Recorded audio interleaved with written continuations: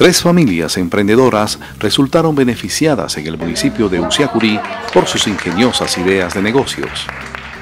La Universidad de la Costa CUT, de la mano de la Gobernación del Atlántico, apoyaron a las familias con la compra de materiales para conformar sus empresas.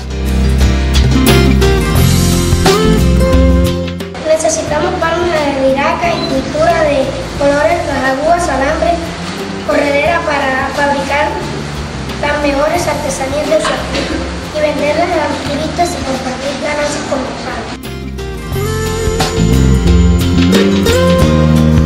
El coordinador de la unidad de emprendimiento de la CUP, César Camilo Ospino, y el estudiante emprendedor Eddie Giuseppe Jiménez se reunieron en el despacho del alcalde de Uciacurí, doctor William Pastor, y entregaron a las familias de Jesús Romero, primer lugar, Angie Salas, segundo lugar, y Carlos Zapata, tercer lugar, las dotaciones para afianzar y conformar sus propias empresas.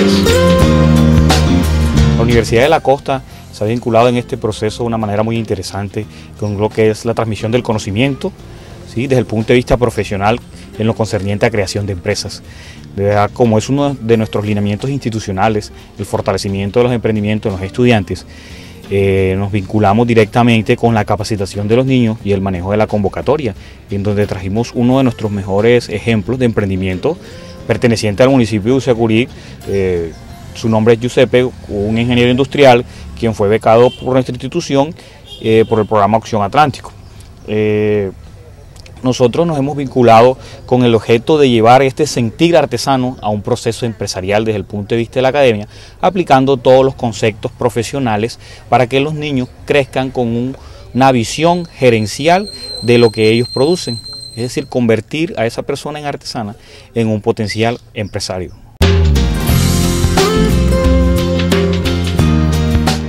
Las familias agradecieron este tipo de actividades que refuerzan los conocimientos y el espíritu emprendedor de los niños del Departamento del Atlántico.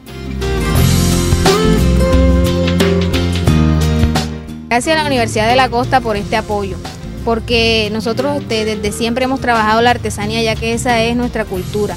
Y ahora que la Universidad de la Costa le ha entregado este, este premio a mi hijo, es un, motivo para nosotros seguir avanzando en la artesanía y es una forma también para mejorar nuestro, nuestra situación económica.